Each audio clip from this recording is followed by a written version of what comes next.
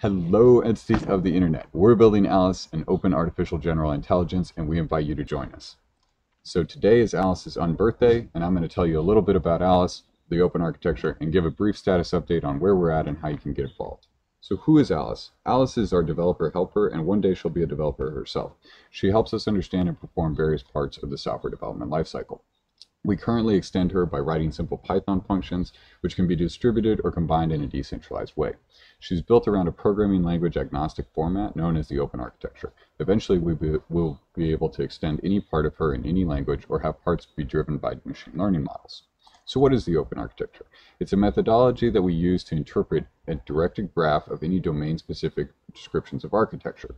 So we're developing the open architecture so that we can do one-hop analysis when looking at any piece of software from a security or other angle, right? So we always can just go and analyze from the open architecture format. Um, and then that way we can, you know, write a lot of different analysis tools for different uh, underlying uh, descriptions of architecture, but they all analyze in one format. Okay, so having this uh, generic method, which allows us to describe any or understand any system architecture, uh, will allow us to knit them together and assess their risk and threat model from a holistic viewpoint. So we want this to be a machine and human readable and interpretable format so that we can facilitate the validation of the reality of the code as it exists in its static form what it does when you execute it, and what we intend it to do.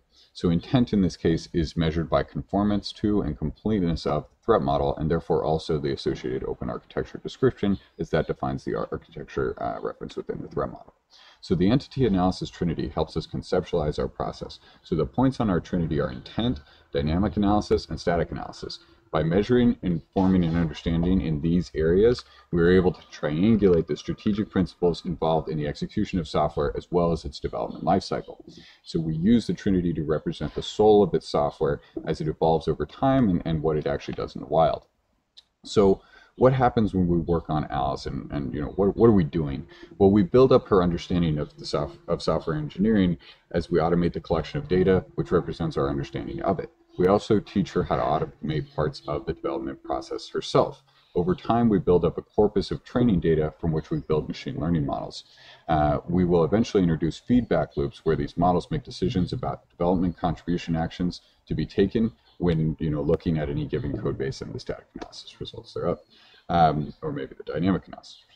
So we want to make sure that when Alice is making these decisions, that she's following our organizationally applicable policies, right, and conforming to the threat model and, and uh, you know any other things that she should be considering. Um, so who's working on Alice?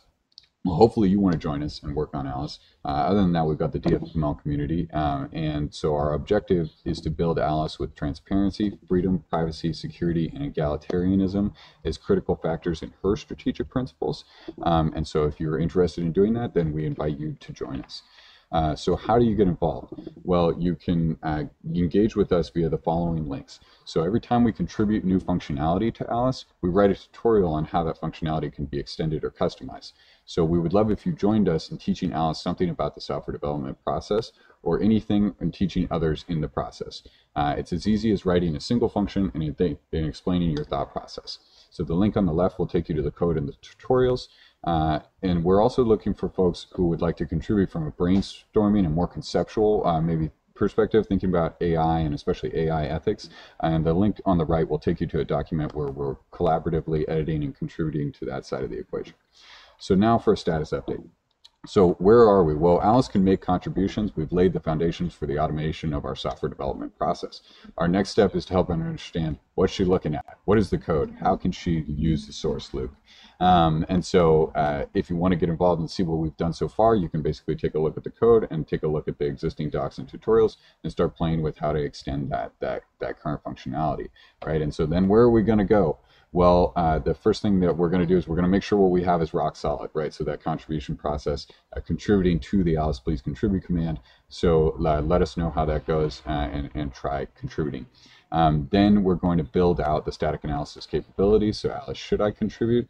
Um, and then following that, you know, we're going to make sure that those metrics that are getting collected are going to the appropriate places, such as the OpenSSF metrics initiative. Um, and then later we're going to get into, you know, more of the dynamic analysis portion and rounding out the rest of that Trinity analysis, understanding of software engineering and that feedback loop. Um, so in summary, we're building Alice, you know, that entity at the center of the Trinity that's going to help us understand software. Um, and then, uh, you know, we're uh, trying to just build out the various uh, pieces of that and, and, build on existing work in other areas uh, for those, uh, uh, you know, the intent, the static analysis, and the dynamic analysis. So if you want to get involved, please reach out, and thank you very much.